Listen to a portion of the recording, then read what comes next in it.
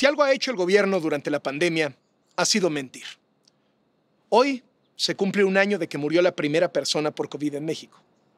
A un año, la cifra oficial de personas muertas por coronavirus está casi en 200 mil. Pero no es real.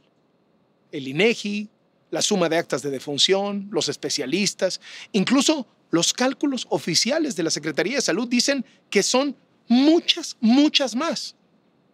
Pero la cifra oficial sigue maquillada, sigue subestimada y se repite todos los días.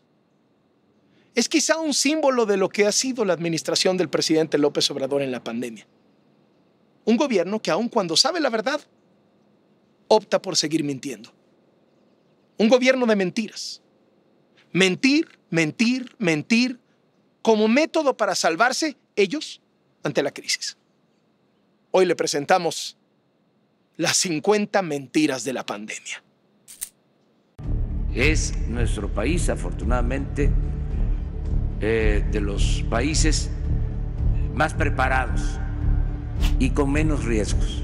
Es más leve que la influenza estacional, no se necesitan hospitales especializados. De nada le sirve a un paciente saber que tiene coronavirus. El que está asintomático no necesita cuarentena alguna. Estamos preparados para enfrentar esta situación. No es algo eh, terrible, fatal. Hay que abrazarse, no pasa nada. No nos van a hacer nada. Las pandemias. La fuerza del presidente es moral, no es una fuerza de contagio. El 19 de abril vamos a poder salir de la gravedad. Se ha podido domar la epidemia. El usar cubrebocas tiene una pobre utilidad o incluso tiene una nula utilidad. Se aplastó la curva.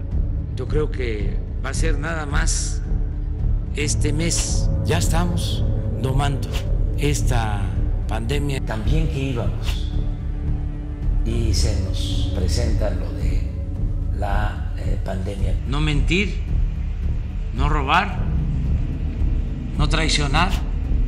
Eso ayuda mucho para que no dé el coronavirus.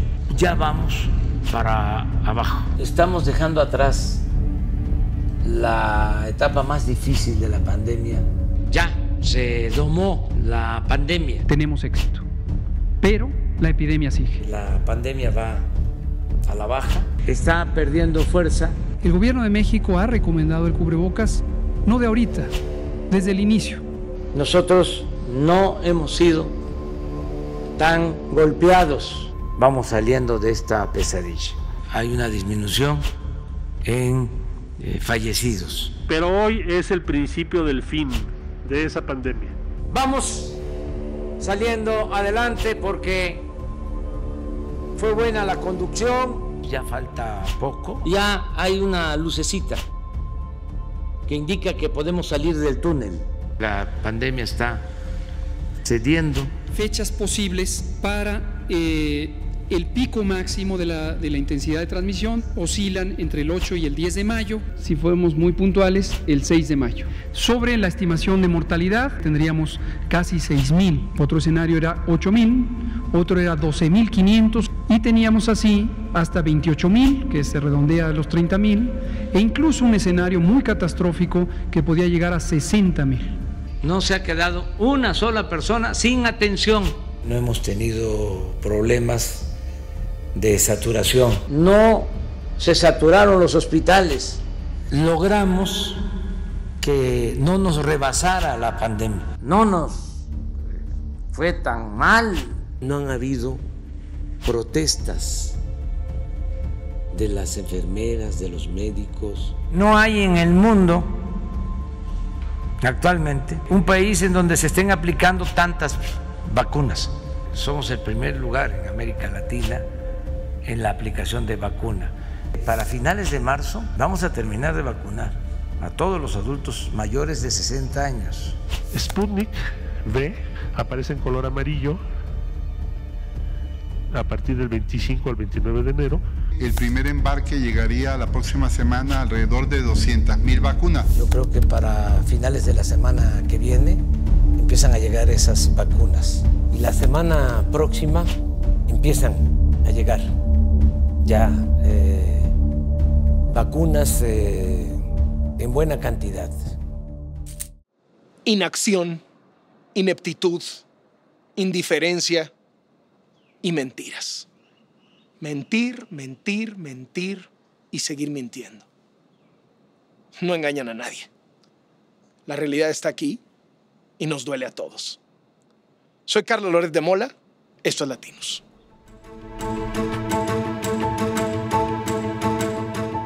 Cuando los efectos económicos de la pandemia pegaban con todo, el presidente lo repitió una y otra vez. No habrá rescate a empresarios como se hacía en el pasado, que quiebren las empresas que tengan que quebrar.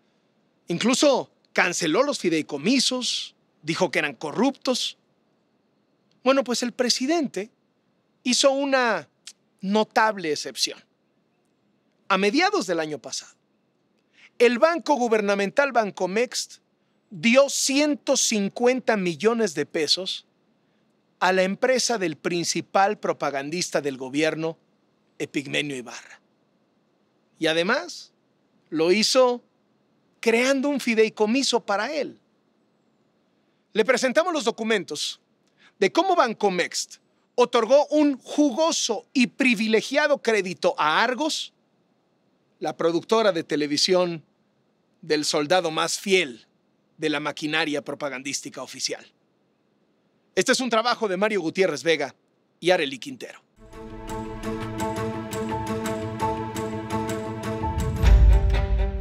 Epigmenio Ibarra, uno de los empresarios más cercanos al presidente Andrés Manuel López Obrador, utilizó la banca de desarrollo del gobierno federal para obtener un crédito que financiará sus negocios audiovisuales. El préstamo es hasta por 150 millones de pesos y fue entregado por el Banco Nacional de Comercio Exterior en 2020 a la empresa Argos Comunicación, de la cual Epigmenio Ibarra es dueño y director general.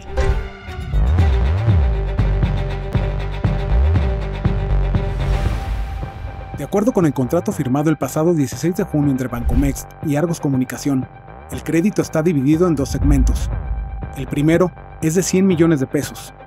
Argos solicitó dicha cantidad para invertirla en la preproducción, producción y postproducción de las series de televisión que esta empresa y sus filiales realizan para televisoras y plataformas audiovisuales.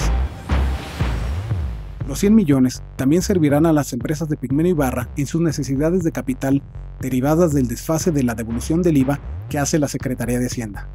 Al ser vaga la definición que se hace sobre el concepto de necesidades de capital, el contrato deja un amplísimo margen para maniobrar con estos millones.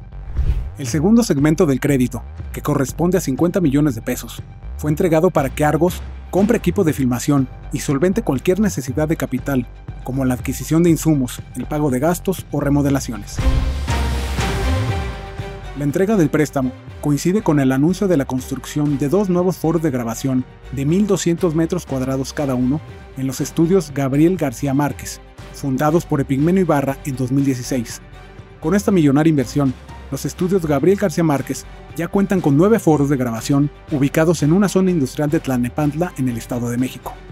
A partir de la firma del contrato, Argos Comunicación recibió un plazo de seis meses para disponer del crédito y se comprometió a pagarlo en cuatro años, de acuerdo con información pública de la Secretaría de Economía. Es decir, Argos debe devolver el dinero con sus respectivos intereses en 2024, cuando concluye el sexenio de López Obrador. Como garantía de pago para el crédito, Epigmenio Ibarra presentó los derechos de cobro del contrato de servicios de producción que Argos Soluciones Creativas y Argos Televisión firmaron en 2013 con Telemundo. A través de este contrato de servicios, Argos produce y entrega programas en español a la cadena de televisión con sede en Estados Unidos. Argos Comunicación recibió el préstamo tres meses después del inicio de la pandemia, cuando miles de pequeñas y medianas empresas solicitaban estímulos económicos para sobrevivir y los apoyos del gobierno llegaban a cuentagotas. Por ejemplo, este crédito por hasta 150 millones de pesos se otorgó antes de que Bancomex anunciara su programa de apoyo al sector turístico y hotelero afectado por la crisis provocada por la COVID-19. El acuerdo entre el Banco del Gobierno Federal y Epigmenio Ibarra no se limitó al préstamo. Bancomex y Argos también crearon un fideicomiso que servirá para administrar el crédito y como candado de garantía para la devolución del dinero. El mismo 16 de junio, la división fiduciaria de Bancomex creó el fideicomiso 10.660 con Argos Soluciones y Argos Televisión. En el documento aparecen las firmas de los funcionarios de Bancomex y de los apoderados legales de Argos, Epigmenio Ibarra, Víctor Hugo Orozco Vidrio, Ernesto Vega Navarro y Jorge Agustín Luterot, quien también forma parte del Grupo Televisa. En los dos años de gobierno del presidente Andrés Manuel López Obrador, las empresas de Pigmenio Ibarra han obtenido importantes ayudas. En 2019 y 2020, Argos Televisión, Argos Producciones y Argos Soluciones Creativas recibieron condonaciones de impuestos por más de 7 millones de pesos, de acuerdo con información disponible en la Plataforma Nacional de Transparencia y en el Servicio de Administración Tributaria de la Secretaría de Hacienda. El primer semestre del 2020 fue inmejorable para Argos, pues recibió dos condonaciones de Hacienda y el préstamo de Bancomext, que tiene como objetivo principal impulsar a las empresas mexicanas para fortalecer sus negocios en el extranjero. Sin embargo, en los últimos años, Bancomex ha funcionado como una banca comercial, entregando polémicos préstamos para financiar proyectos como las plantas Fertinal, agronitrogenados y etileno 21, propiedad de Braskem, filial de Odebrecht en México. En septiembre del año pasado, el presidente anunció que el gobierno federal realizaría una auditoría a Bancomex y a toda la banca de desarrollo para conocer cómo se han entregado los préstamos. Claro que para lograr ese tipo de crédito, pues se requiere de influyentismo. No se lo dan a una pyme, una pequeña o mediana empresa. Carlos Noriega Romero, director de Bancomex, cuando se entregó el crédito a Pigmenio Ibarra, dejó el cargo el jueves 11 de marzo para buscar una posición política. En su lugar, fue nombrado Juan Pablo de Botton, funcionario del Sistema de Administración Tributaria.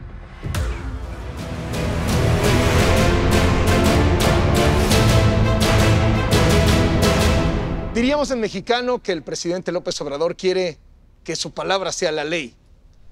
El problema es que esa canción se llama El Rey. Y en México no hay rey. Y no queremos que haya rey. Hoy nos acompañan en el Latinos Claudia de Buen, quien es presidenta de la Barra Mexicana de Abogados, muchísimas gracias por estar con nosotros. Gracias, Carlos. Y Ricardo Antonio Silva Díaz, quien está al frente, es rector de la Escuela Libre de Derecho. Muchas gracias por estar gracias aquí con nosotros. ¿Qué implica este ataque de López Obrador a los jueces? Es muy delicado porque pareciera que prevalece el poder ejecutivo sobre el poder judicial. Y eso no es. Estamos en, una, en un país democrático en el que la Constitución prevé la igualdad de los tres poderes de la Unión el Ejecutivo, el Legislativo y el Judicial, y que el Ejecutivo incida en el, en el Judicial de esa manera y de alguna manera atemorice o amenace o, este, mande estos mensajes a los jueces que si no hacen lo que él considera que se debe de hacer, serán investigados, es muy delicado. Los defensores del presidente dicen, a ver, ¿por qué se estresan? Existe una tremenda corrupción en el Poder Judicial y el presidente está haciendo una respetuosa sugerencia de que se investigue si estos jueces que han amparado a las empresas lastimadas por la reforma eléctrica no tienen cosas sucias, que nadie se asuste. Es una sugerencia, es una amable petición del presidente. No, no es una amable petición, es una intimidación, porque ya habló, ya dijo que el, que el juez con este nombre y apellido seguramente estaba sirviendo a los, a los intereses de, ciertas empresas y, que y porque que entre, otorgó la suspensión vía fast track, es decir, en muy poco tiempo la suspensión provisional, pero así dice la ley.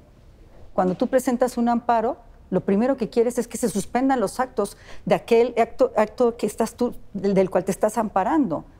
Entonces, si no se suspenden, los efectos de esta ley pueden generar que no vuelvan las cosas al estado que se encontraba en situación. el punto es que sea rápido. El punto es que sea rapidísimo. ¿Por qué? Porque es una suspensión provisional. Después vendrá la definitiva en caso de que haya elementos, cuando se tenga la contestación de las autoridades, suficientes como para pensar que si se continúa con esta ley que surte efectos, entonces ya no va a haber este, forma de, de, arreglar, este, de revertir, de revertir todo lo que se está haciendo.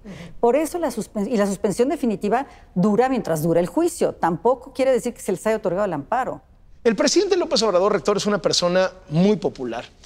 Eh, conecta enormemente con la gente.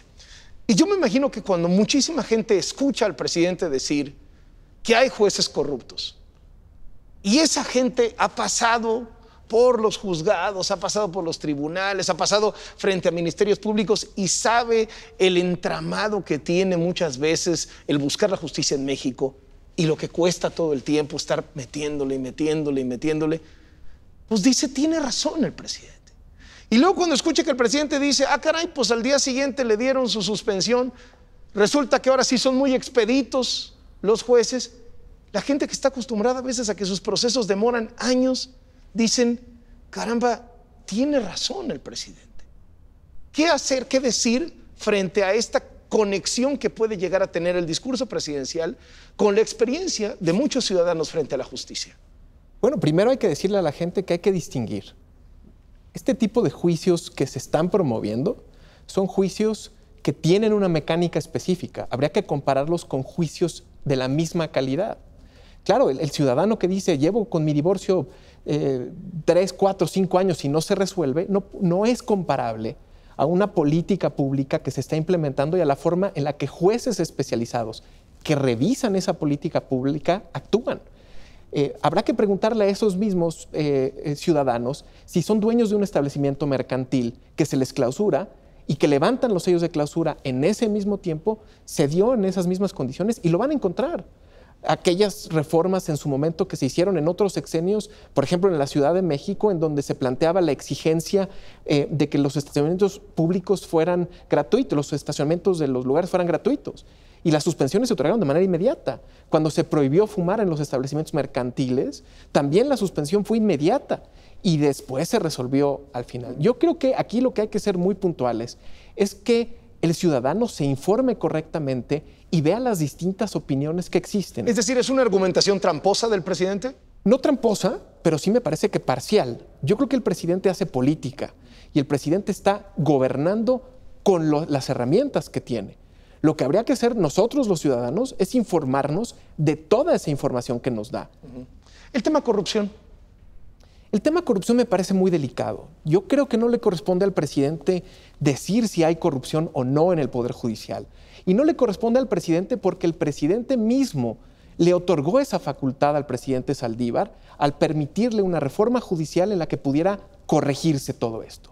El propio presidente de la República recibió la reforma de Arturo Saldívar y le dijo, yo la presento por ti porque confío en que tú lo vas a hacer. Si ya le dio esa deferencia política, ¿por qué en este momento recriminar o reclamar que hay corrupción adentro? Decías hace un momento, el presidente exige al, al presidente de la Corte y del Consejo de la Judicatura que corrija la situación de corrupción. A él no le corresponde porque ya lo delegó ya es el Consejo de la Judicatura el que lo tiene que ver. Y el ministro Saldívar ha salido a decir, señores, yo tengo bajo control el tema. Por cierto, ¿qué tal la respuesta del ministro Saldívar como presidente de la Suprema Corte de Justicia, como presidente del Consejo de la Judicatura, es decir, como el máximo encargado del Poder Judicial? ¿Qué les ha parecido, les pregunto a los dos, la respuesta del ministro Saldívar frente a estos ataques a los jueces por parte del presidente? Creo que la respuesta es institucional lo que llama la atención de la respuesta es que el ministro Saldívar no tiene ese perfil institucional. El ministro Saldívar ha sido un ministro activista, el ministro Saldívar ha sido un ministro que ha puesto fuerte la mano en los asuntos en todos los sexenios, ha dicho desde la bibliografía cuando no era ministro y siendo ministro en el caso ABC y una serie de casos, ha puesto fuerte la mano. Y en esta ocasión decide ser institucional. A mí esa es la duda que me genera. La respuesta es correcta, pero muy institucional. Estoy de acuerdo con Ricardo. Es muy institucional la respuesta. No esperábamos menos de él. Tenía que salir a la defensa de sus jueces, pero sí no es el perfil del ministro Saldívar. es decir, no esperaban menos, pero sí esperaban más. Yo sí esperaba más. Yo esperaba una defensa más fuerte. Pero bueno, es, es, una situación complicadísima para él también. Entiendo que está en, una, e, e, en un momento de de, marcar un antes y un después, lo cual es delicado también, políticamente delicado. ¿A qué atribuyen que, desde su punto de vista, le haya faltado eh, mano, le haya faltado poner la pierna dura, como se dice en la respuesta al ministro presidente? Yo, lo atribuyo a que él tiene una magnífica relación con el Poder Ejecutivo, han ido llevando eh, de manera armónica las cosas y de que yo no creo que él quisiera desmarcarse en este momento. No, no, no digo que esté trabajando para él, ni mucho menos. Yo lo que digo es que eh, la conciliación cuando existen este tipo de... Yo soy mediadora, entonces tengo esta, esta idea. Cuando existen este tipo de encuentros, lo mejor es tratar de conciliar, tratar de negociar, tratar de llevarla por un buen camino para no, no, no fracturar el tema, ¿no? Yo diría el presidente de la Corte y del Consejo de la Judicatura tuvo la mesura que el presidente de la República no tuvo. Exacto. El presidente del Consejo de la Judicatura sabía que con un comunicado que se iba a ventilar en la sociedad y en medios, cualquier cosa que dijera, estaba prejuzgando. Actuó como juzgador. No podía caer en el mismo juego ¿no? que el presidente para que hubiera un juicio público, porque ah, se trata de alguien que apenas estaba resolviendo el inicio de algo y que viene mucho tiempo. Y si él agregaba un poco de fuego a esto, pues estaba cayendo en el mismo juego. Me parece que fue, fue mesurado. ¿Ven brochazos de autoritarismo, franco autoritarismo? ¿Ven brochazos de dictadura? ¿Ven brochazos de monarquía? ¿Quiere ser el rey? Yo, no diría que quiere ser el rey, pero sí veo brochazos de autoritarismo, desde luego. Y ahí viene. ¿Solo brochazos o francamente un presidente autoritario? Es un presidente autoritario. Pero esa es, mi opinión de Claudia, ¿eh? no es de la barra. ¿Cuál es el peligro de tener un presidente autoritario? O sea, la gente que nos está viendo dice, bueno, ¿y? No, bueno, el peligro es que no puede recaer en una sola persona las decisiones fundamentales del país. Por eso hay tres poderes, Carlos. Por eso hay tres poderes, porque se hace un equilibrio, se hace un contrapeso entre ellos. Unos controlan al otro, a los otros. Entonces, tiene que existir un respeto a esta división de poderes, de lo contrario estaríamos peligrando a un tema tipo una dictadura, un autoritarismo. Entonces, esperemos que, siga el control como hasta ahora ha estado siendo. Veo un presidente que no quiere dialogar. Veo un presidente eh, de la República que, lejos del diálogo y de escuchar a las otras instituciones, está muy arraigado en las ideas, está muy arraigado en una idea de conspiración alrededor de todo esto y que no ve con confianza a las instituciones, que no ve que los jueces que están resolviendo son jueces que en algún momento le pueden dar ideas para construir mejor lo que quiere. Y me parece que esta visión de parcial, única, eh, de, carente diálogo, de golpeteo diario, de denostar, de demeritar, no está ayudando a construir una sociedad mexicana ni la que él piensa ni la que todos esperamos. ¿Es un aspirante a dictador? Es un aspirante a ser sordo a lo que está pasando. Él o sea, ¿quiere un gobierno de un solo hombre? Quiere un gobierno de, un, de una sola ideología. Quiere un gobierno de un solo sector. Quiere un gobierno que esté dividido y poder gobernar con esa división. Lo dije ahorita de pasadita, pero este ataque que va también no solo a los jueces, sino a los abogados que defienden una causa. ¿Qué piensan los abogados? No, es muy mal. Nos está diciendo traidores a la patria porque muchos de mis colegas defienden a estas empresas que debido a la reforma energética de hace unos años, entraron a México, hicieron grandes inversiones y ahora van para, para atrás, ¿no? Entonces sí nos preocupa mucho porque todos tenemos derecho a una defensa. Cualquier persona tiene derecho a una defensa, hasta el más criminal tiene derecho a una defensa. ¿Cómo no lo van a tener empresas que confiaron en el país, que confiaron porque tenemos tratados internacionales que se están violando con esta decisión del presidente de regresar las cosas a, antes como estaba? Yo, yo fíjate que me voy más allá, Carlos, y también es a título personal. Yo siento que esto es toda una campaña política por las elecciones que vienen.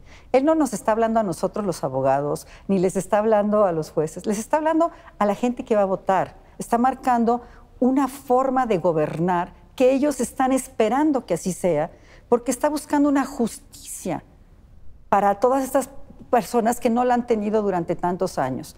Y no es así como deben de ser las cosas, porque está dividiendo al país. Y esta división a nadie le conviene. ¿Y si va a terminar beneficiando a esas personas que por décadas han esperado que les llegue la justicia? Yo creo que no, yo estoy segura que no, porque no se les benefició antes y porque además esto significaría energías sucias, esto significaría salirnos de varios tratados y esto significaría... Hay quien dice que incluso suba el recibo de luz. No, bueno, claro, y confrontarnos con muchos países que han invertido en, en- en México por, por esta reforma energética de- del del presidente Peña, ¿no?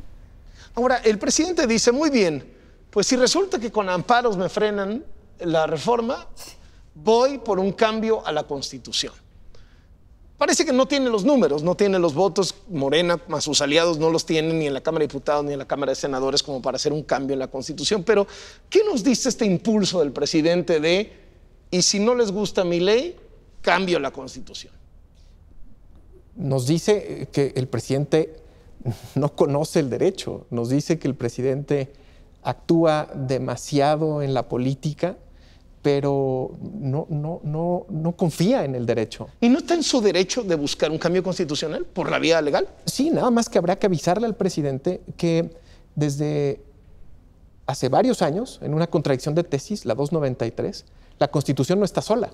La Constitución es Constitución junto con tratados internacionales. Por más que reforme la Constitución, los tratados internacionales no los va a poder modificar. Y esta ley puede y está afectando tratados internacionales. Entonces, pues sí, está en su derecho poder mover la Constitución, pero no va a poder mover los tratados Así internacionales. es, exactamente. Estoy totalmente de acuerdo. A ver, eh, el presidente habla de eh, la situación de corrupción y lentitud en el Poder Judicial y como decía hace un rato, conecta con muchísima gente. Habla de eh, los jueces que no están del lado de la justicia y a mucha gente le resuena esto. No está claramente ganando el debate el presidente, ganando el discurso frente a élites, ¿no? de abogados, de especialistas, de empresarios que están diciendo, no, esto va a ir, mal, va a terminar mal, y entonces la gente como que no conecta con eso. Yo creo que la gente no está conectando eh, con la división, no está conectando con el golpeteo. Yo creo que eh, si el presidente está ganando el discurso, puede ser. El tema es cuánto tiempo, porque tenemos que ser muy claros. Eh, no vamos a ayudar a revertir la desigualdad social si no lo hacemos todos. Si la lógica del presidente en un inicio era concientizar, pues creo que ya se concientizó, vamos a trabajar todos. Si la lógica del presidente sigue siendo sectorizar, esto no va a tener solución. Y no se puede decir al final, a ver, ¿de qué tanto se quejan si esto siempre ha pasado? Siempre has tenido a un presidente capaz de presionar y someter a los otros poderes, siempre has tenido a un presidente que puede cambiar la constitución y que quiera, o sea, ¿por qué se asustan tanto de López Obrador si esto ha sucedido en el pasado? ¿Qué responderían ante este Bueno, argumento? ¿te acuerdas de que tuvimos un partido hegemónico que tenía control de todo, de los otros dos partidos, del legislativo y del judicial, este, durante muchos años? Eh, sin embargo, ya, ya hay un cambio. En el momento en que, más o menos en 1988, entran otros partidos al, al- al poder legislativo, empieza a haber una- un equilibrio de y ya no permitir todo lo que empezó a, lo que se permitía antes. Y nos acostumbramos a poder tener esta división de poderes y este contrapeso que sí es real el contrapeso. Entonces ahora que desaparezca esto que fuimos ganando poco a poco con los años después entra Fox después entra Calderón después regresa el PRI con Peña y ahora está este Morena. O sea hemos ido ganando una, una democracia que no estamos dispuestos a perder. ¿López Obrador quiere retroceder la democracia? yo estoy segura que sí, yo estoy segura que sí, bueno, yo pienso que sí, porque está justamente mandando mensajes para regresar al régimen anterior en el que él fue educado de alguna forma. quiere desvanecer la democracia mexicana, aunque sea una naciente y, y una democracia en aprendizaje, quiere acabar con la democracia en México. Si la democracia es consenso, diálogo, acuerdos, sí, sin duda. No hay diálogo, no hay acuerdos. Eh, y eso es preocupante. Y es muy preocupante que no escuche eh, a los abogados, es muy preocupante que no escuche a todos los sectores, es muy preocupante que el discurso sea eh, dividir. Eso es lo preocupante. Sobre esto de que pues, también sucedía en el pasado, ¿por qué, ¿por qué tantas olas? Yo insisto, en el pasado sucedía, es cierto. Eh, las reformas estructurales del sexenio anterior son una modificación de la Constitución para poder ajustar a ciertas condiciones. Pero se escuchaba, pero había una visión integral. El miedo se genera en cuanto a que no hay ni siquiera diálogo en el propio gabinete, ni siquiera una posibilidad de decir un no. No hay ese consenso, no se ve ese consenso y ese diálogo ni siquiera en, los propios, en las propias filas de Morena. Esa es la preocupación. Por último, ¿qué les dirían a los jueces que están siendo atacados ah, por el presidente y que incluso desde mi punto de vista no se están achicando porque hasta más suspensiones otorgaron? ¿Qué le dicen a esos jueces? Que resistan, que tienen a la, a la, a la digamos, a los abogados de su lado, que estamos nosotros también defendiéndolos. Hemos sacado varios pronunciamientos, lo sacó Ricardo como rector de la Escuela Libre de Derecho, lo sacamos nosotros como colegios, los tres colegios más importantes de, de México de abogados, lo sacamos conjuntamente. O sea, estamos apoyándolos y estaremos apoyándolos. Y fíjate que hay una, una eh, en México, en la barra, perdón, de abogados, tenemos la defensa de la defensa. Nosotros cuando hemos sido atacados los abogados, recurrimos a nuestros propios, este, a la Junta de Honor, recurrimos a la defensa de la defensa, para que atienda estos asuntos en los que los abogados estamos siendo intimidados. Bueno, de alguna manera los jueces también están siendo intimidados y me parece que los abogados tenemos que salir a su defensa, porque si no, esto se nos cae. ¿Qué les digo yo? Que sigan actuando como lo han hecho desde hace muchos años.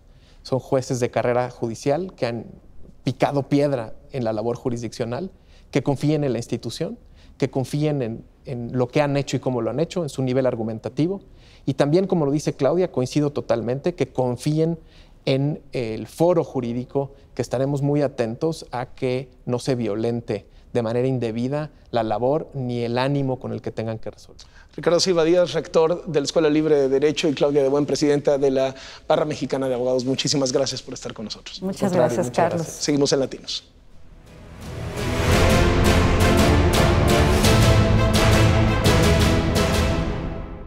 Y en esta semana que se ha hablado tanto de corrupción y de jueces, habría que recordar que el buen juez, por su casa productora, empieza. Nos vemos la próxima semana.